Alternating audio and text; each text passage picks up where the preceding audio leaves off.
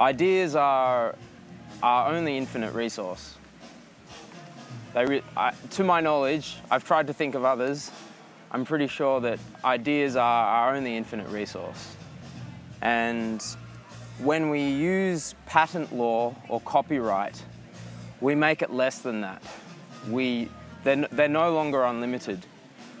Uh, because we're in fact saying that that idea or anything that's close to that idea is mine and that you can't go there. So it's a, it's a major shortcoming in perhaps our greatest potential to solve the problems that we find ourselves in. Um, when we use patent law and copyright, we are actually ignoring what ideas truly are. Um, we're creating a fiction that ignores the fact that ideas are interconnected and they don't really have boundaries because they, they really smoothly transition into each other. Um, and also when we create new ideas, we, we, in creating patents, we ignore the shoulders that we're standing on when we create new ideas because in creating a patent and saying, you know, look at this new idea, isn't it great? You're ignoring what actually fed into that, the inputs for that creativity. And we usually create new ideas from copying and alteration. So being inspired by something and then perhaps changing it a little. So open source addresses this. It's actually just a fancy word for sharing. really. Um, it means that it's, what it means is when an idea is for the commons and we don't place limitations on it for being copied or altered or sold and we remove those restrictions. Apple and Samsung, they spend more money on litigation and suing each other over their ideas than they actually do on creating new ones they spend, which represents time and energy as well. So,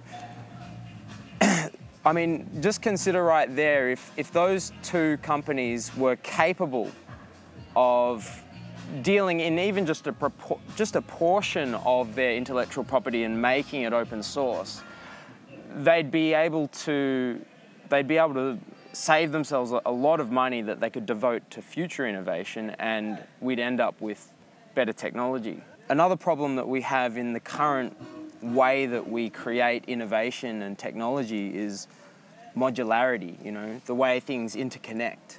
Companies don't like it when their technology plugs into other technology uh, because they want you to get locked in into their ecology of their systems. And they only want to do that because they've claimed the ownership over the idea but in open source, the idea, we are trying to distance ourselves from the ownership of that idea. And in doing so, it actually offers us creative freedom to, for that idea to go places that it otherwise wouldn't. Perhaps one of the next biggest problems that we are faced with in resource consumption is planned obsolescence. So our technology is really made to be like good, but only good enough. And good enough in certain ways, not in other ways. So the light bulb conspiracy, which is a really great documentary, really highly recommend you get your hands on it. The light bulb conspiracy. Um, we saw in that there was this fire department and there was one guy who was working in that fire department for most of his life. Maybe it was 40 years, I can't remember. He was very, very old by the time he realized that there was a light bulb up in the ceiling that no one had ever changed in the whole time that he worked there. And, you know, at first they were just joking about it. They're like, yeah, the light bulb's still going. And then eventually uh, rumors spread and someone outside decided to investigate, all right, what is this light bulb? Who made it and where did it come from? And they found out that it was actually coming up to its 100th birthday. and they actually had a celebration for this light bulb's 100 year birthday. Um, this light bulb is, was one of the earlier light bulbs that were made before the formation of a real cartel called the Phoebus Cartel. And the Phoebus Cartel was, from memory, uh, the collective of uh, GE, and one other, no, Philips, GE, and Osram. Osram. And they essentially agreed to limit the life of a light bulb to no more than 1,500 hours. Mind you, before that point, the average life of most light bulbs was around 2,500 hours, and they actually cut it back. Uh, those 100 year old light bulbs, they were uh, kind of an anomaly. There weren't too many of them floating around, but they did exist, and we had the capacity to, you know, actually alleviate a lot of resource consumption back then.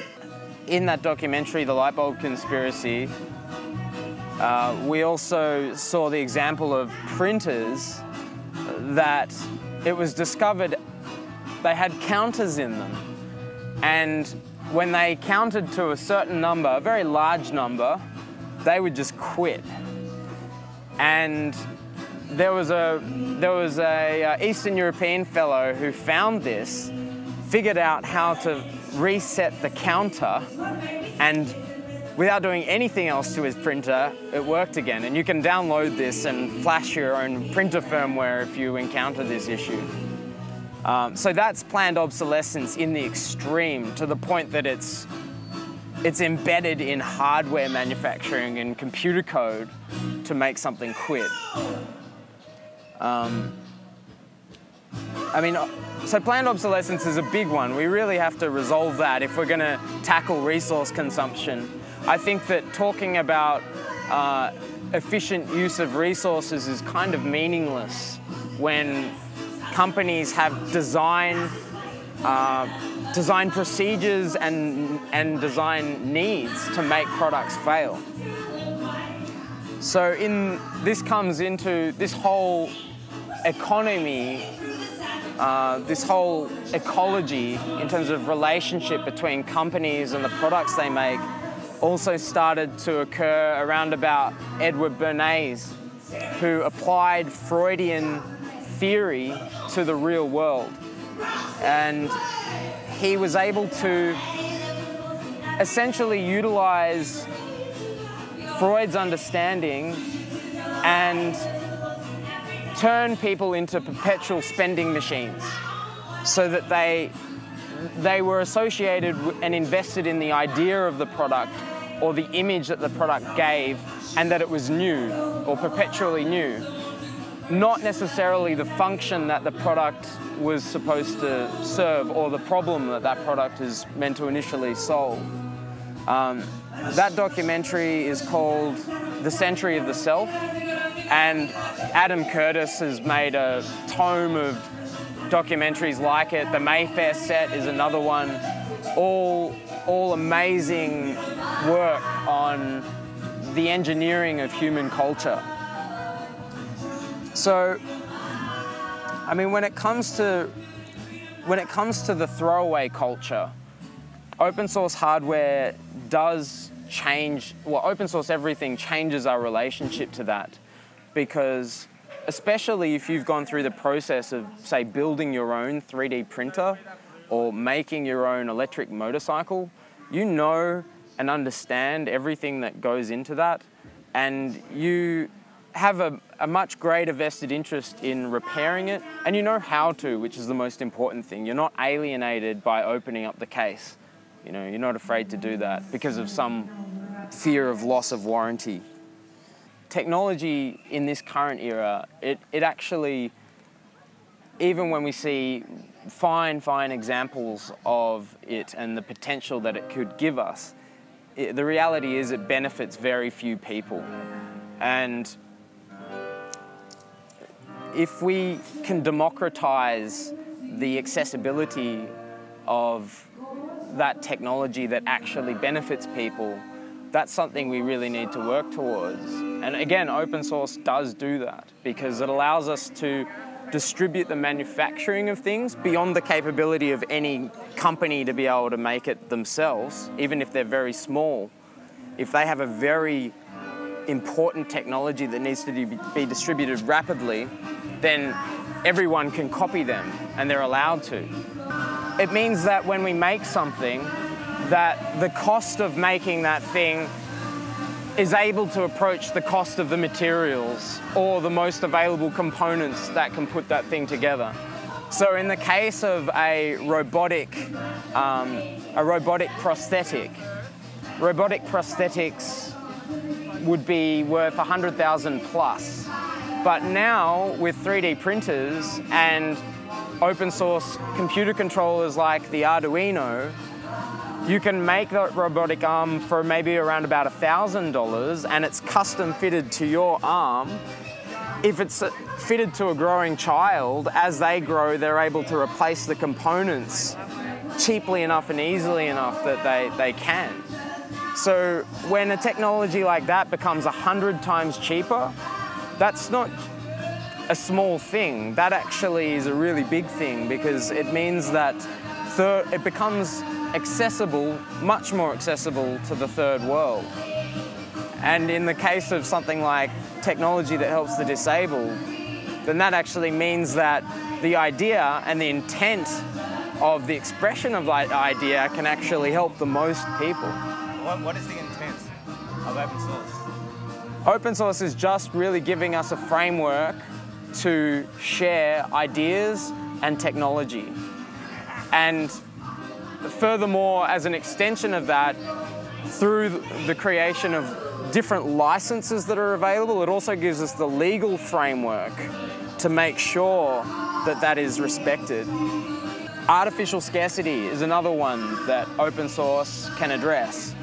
So, because of global politics, global economics, we end up with artificial scarcity, even though there, are, there might be an abundance of a particular thing something like Bolivian quinoa, over 10 years, increased to 10 times the price. At which point, the local growers and the local people, where that food was a staple in their diet, they could no longer really afford it. And it's quite inaccessible to them, even though it's grown right next to them. So this comes into how we empower community and how we democratize technology enough so that we're making things on a local level. And if we have the ability to make things on a local level at low enough cost, then we can, any, any need that can be fulfilled will be more easily fulfilled. Coffee is another example. I mean, uh, from global economics, you end up with eight to 10 middlemen between the people that grow and the people buy. And as a result, the people that grow, even though they're not so interested in consuming it all the time, if at all, the, the reality is, is that they don't get any monetary benefit. And it's all the middlemen along the chain that benefit. So in empowering community and the technology that allows us to produce these resources, we're able to decentralize those problems further and also by, we're able to embrace direct trade by providing direct communication between the people that are producing food and the end buyer. Another point to raise on artificial scarcity is the example of the electric car as described in the documentary Who Killed the Electric Car? Uh, which is an, another one that must be watched because the reality of us getting electric cars in more abundance today, it was delayed by at least 10 to 15 years because of the events performed by uh, General Motors. In the case of the electric car, it's an example where technology that is greatly needed isn't able to be provided because a large industry which has so much invested in the machinery used to create its output, it has to get that investment back. And it means that it has a vested interest in ensuring that new technology that replaces it doesn't come to market. In the case of General Motors, they did this by creating an electric car that was made to fail. So the marketing and everything surrounded by it was basically pushing consumers away. And even the consumers like that basically said, I don't care, I want one anyway, it resulted in their cars being confiscated off them and crushed. So that there, were, there was basically no memory of this vehicle's existence. That's, the, that's one of the big problems with current manufacturing technology is that when you make the mold for a car door, that mold might not pay for itself for eight years. So we're dealing with a mechanism that's very unadaptable and anyone that utilizes a mechanism like that uh, in their manufacturing process is exposing themselves to a vulnerability whereby they have to make that door mold work. When we deal with open source and distributed manufacturing and giving everyone the capability to manufacture things themselves, or at least on a far more available way, maybe not every individual, but local communities, it means that we have the processes to make that car door far more adaptably. Because we're not trying to make the car door in units of a thousand, we're optimizing for units of one or five. And when we can do that, we're also dealing with resource consumption because we end up with a solution for recycling. If I'm making a new engine block or I need to roll some steel and I have the ability to do that, perhaps in a community of 300 people, they might have that machinery. That rusty engine block that's been sitting in the paddock over there, it is an attractive resource. But it's not an attractive resource to a large economy or a large organization that has to make a thousand of something because it won't be able to get consistency in acquisition of the material, in the quality of the material. So by decentralizing our manufacturing capability, we really address that, that problem. I guess the next thing is efficiency. You know, we're obsessed with efficiency. And I'm really interested in efficiency too. But there's, there's a real problem in the way that efficiency works in the 40 hour work week. And that is that unless I'm the 1% or I'm an owner in the company, the rest of the people in that organization get very little benefit if they invent an improvement in efficiency. If we're working in community for our own resources, uh, even technological ones, if there's a need to, say, produce a vehicle and we collectively figure out a way to produce that vehicle in less time, that actually means collectively we have more time. We're, we're not in the situation where the 40 hour work week is constant, regardless of how efficient you are. That also ties into automation. So, automation's a big one for efficiency. There's a really good uh, YouTube video called Humans Need Not Apply. I'll give you a list of all these resources if you, if you check your email address on the list I'll email out all these resources to you. Automation will replace manual labor where possible. And that could be a good thing if it was if those resources were owned by the commons. But the reality is those robots are owned by a very small proportion of society. And unless they're open sourced, that will displace people from the ability to um, provide for themselves. But open source does deal with this because if we're able to cr create that automation technology for the commons, we actually do collectively benefit. We're able to create structures where we are liberating ourselves uh, by giving ourselves the time to do what we want to do, you know, to actually embrace what, what excites us the most. Those last two points on efficiency and automation, um, we can integrate those into community. And any dependency that we have as a community on technologies that are made outside of that, they do represent an energy sink that needs to be dealt with because when that technology breaks down or it fails, we're, we're going to be expending our energy by interacting with the monetary system and it means that we're going to waste a lot of energy in doing so. So it's, it's definitely in our own best interests to try and create open source technology that actually deals with our needs. The other thing about that is that in its full realization, uh, visualize a community of say 300 people and it has all of the manufacturing capability that it needs for say, let's say a 1990s or mid 90s level of technology because, you know, it's going to take a little while before it can get to where we're at now. If that happens, you're actually able to create an attraction point. You know, at the moment, before I thought about this, I thought, my God, you know, it seems like people are just trickling out of the cities to form communities. But we need to suck them out. And we need it to happen really quickly.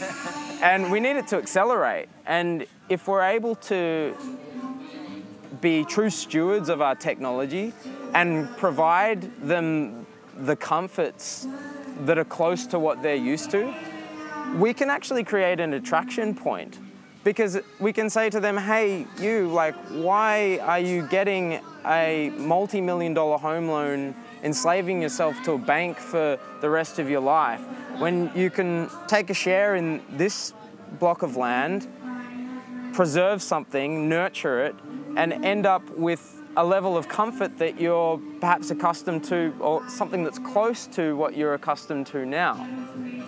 Um, I don't, and, and plus have more time. Yeah, I think that that is, that's the, the true endpoint of that vision. Open source in its full expression for any culture can actually do that.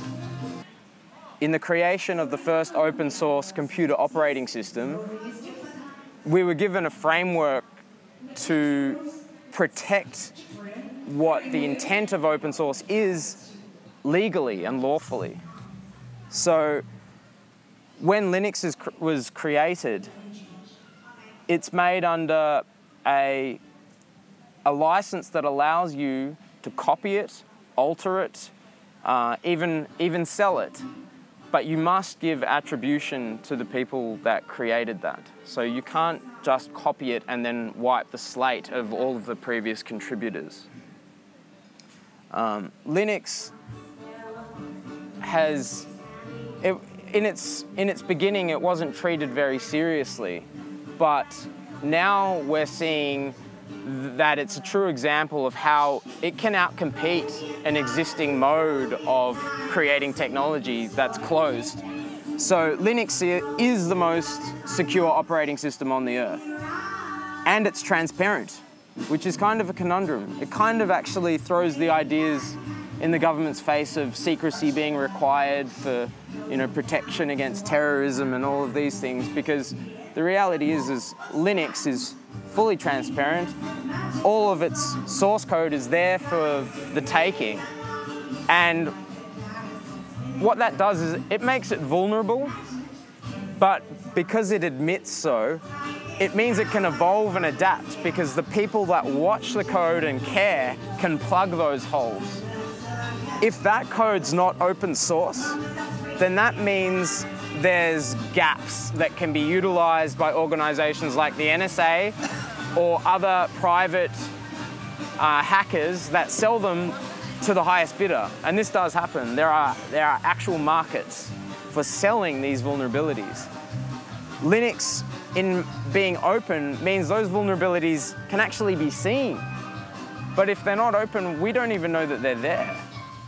So it's no wonder that now Linux is on 80% of the world's computers, uh, on the on the 80% of the world's sorry internet backbone servers, and it it replaced Windows and Apple operating systems on all of those machines, and the, there were a few there are a few others that it replaced in there too. So Linux is purely software, but the computers that it run on are not, are not open.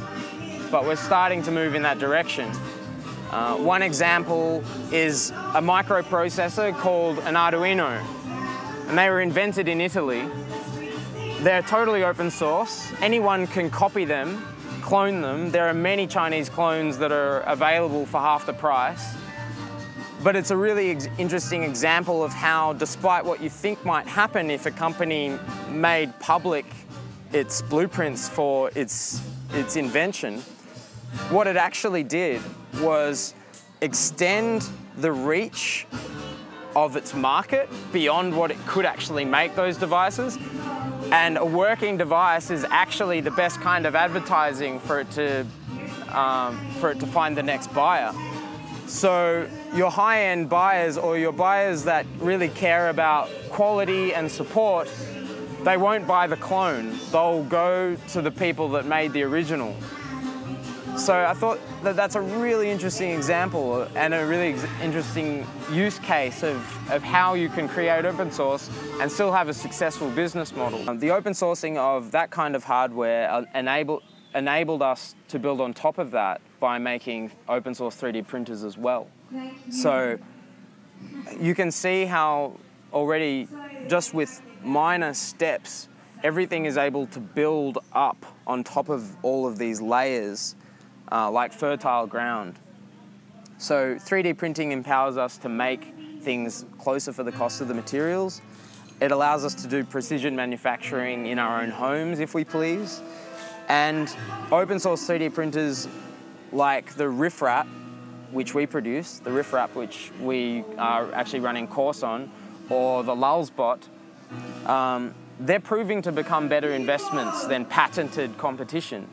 Uh, because you have the freedom to be able to repair the thing yourself, do your own upgrades on it, and you're tapping into a whole community of internet users that are sharing what they learn.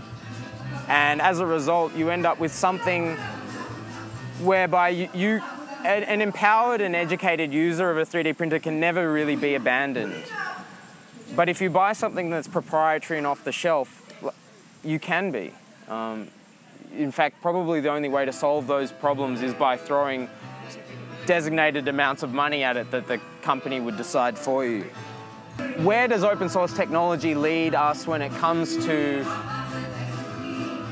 permaculture or producing food and housing?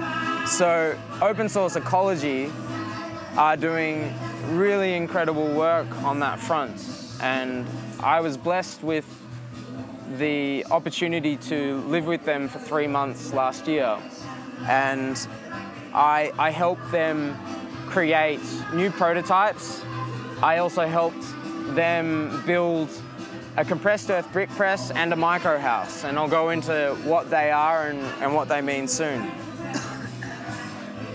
One of the most one of the most interesting things about what open source ecology are creating because they recognize the need for things like cars and tractors and uh, brick presses is that those systems they're able to enhance how modular they are. So if you take the engine, the engine is in a box and you can take that engine and you can use that engine to run your brick press or you can use the same one to run your tractor or your car and even the engine itself, you're not even tethered to a particular manufacturer. Like you can replace that Honda engine with some other brand of motor and plug it into the hydraulic system, which is what allows it to connect to everything else. So if someone's making some dodgy product somewhere in, along that chain, we can replace it and we can put something better in there. If it's cheaper, if it's more efficient, if it's if it lasts longer, we can take all of those things into account. We can also power certain tools in their machine shop with that same power cube. So we can power an iron worker, which can cut through one inch thick steel, or uh, a center hole punch that can punch holes out of steel. That can be powered by the power cube as well. And what this enables is future proofing in terms of what's going to become available in the future. That power cube currently is powered off petrol, but it doesn't have to be. It can be replaced by something that's powered by biodiesel or it can be replaced by an electric motor as well that drives the same hydraulic line. All hydraulics are is essentially a fluid that's moved through a system that's pressurized. You have your power source here that's doing the turning or the pumping. It's pumping the fluid. And then you've got the receiver end over here, which is being driven by that fluid moving through the system. So it's a, it allows you to interconnect anything that can turn a motor. One of the first systems that I made or got to replicate with a group of, I think maybe 15 people there, was the compressed earth brick press. And the compressed earth brick press, I believe, is a real milestone in how we can put roofs over people's heads. Um, it addresses sustainability because you're compressing the earth beneath your feet to make bricks at a very high pressure, like 800 or 1000 psi. And as a result, they, ha- they have the ability to stabilize temperature on the interior of the house because they provide a great deal of thermal mass. They're very strong and they allow you with right with the correct design principles to make houses that are cool when it's warm or warm when it's cool outside. Um, the compressed earth brick press prior to the open source version made by Open Source Ecology a, a proprietary model would have cost someone $50,000, making it pretty inaccessible um, to the third world. But the open source version for the cost of the materials off the shelves in the USA, you can make one for maybe eight to ten thousand dollars. So significantly cheaper, and cheap enough that even if you were building two houses, I would say a worthy investment uh, accessible to people that just wanted to build two houses. But obviously, in the interest of efficiency, it makes sense for it to be a community resource and for it to be able to build ma- many more than that. Um, the brick, the CEB press can press up to 8,000 bricks a day, which is enough for a, a small house. You've got to be working really hard to do that. And so that brick press, yes, it uses steel. Yes, it uses petrochemicals. But the reality is that technology being open is far more future proof than anything else out there because it's, it's modular, you know. If something breaks on it, you can keep the thing going. And there will be a future where it could even be powered by electricity or solar panels, you know. So from that CEB press, we then were able to compress the bricks to make the micro house. So the micro house we built in three to four days with about, again, about 12 to 15 people. People um, who weren't trained in People, none of these people that were made this, that made this system were trained apart from a few, uh, a few people that were making sure that everyone was making the right decisions. But for the most part, they were given some really basic training in how to weld two pieces of metal together and how to stack bricks. And it was it's it's really quite an amazing eye-opening experience to see just what we're capable of even without prior prior knowledge or experience with these systems that in one week we could build a machine to then make the bricks to make a house with. So how do we make it work? And open source i see it as a new baseline for us to aim for. It is the ultimate act of subversion. Uh, really, like 3D printing technology, it's very disruptive. Um, and in order for it to work, we really have to get our thinking caps on. It's just an exercise in creativity and experiment because most people that don't try it don't see what happens. Like the Arduino, who would have thought that cloning this microcontroller that's open source would actually benefit the company in some other way, that it's actually extending their reach and potential to find new customers just because people are cloning it. It's in recognizing that in helping others, we, we do help ourselves as well. So an example of a social experiment that I performed a few years ago was I once bought this multi-touch screen really expensive thing when I got it, it was quite useless because the software that was available for it kind of sucked. Like, there wasn't really much sharing. And I knew that I just we just needed to raise the baseline for what people were sharing, what people thought of as quality software. So I saved up enough money for me to be able to work for three months programming a, a musical interface, a, a touch sequencer, a multi-touch sequencer for this device. And I put it out there and I said, this is, this is a gift. But the reality was is that that became the new baseline. Everyone realized what this multi-touch screen could be to them because of the quality of software that was made freely available to them. And in turn, one year, just one year later, there was a whole plethora of awesome software that was available for that for that multi-touch screen because people realized that that was the baseline. That's that's what's possible. And it changed the way the whole community related to one another because they realized that if encoding this and giving this to others, you know, I empower the whole and there might be the same gifts that will come back to me if the community relates to itself in that way.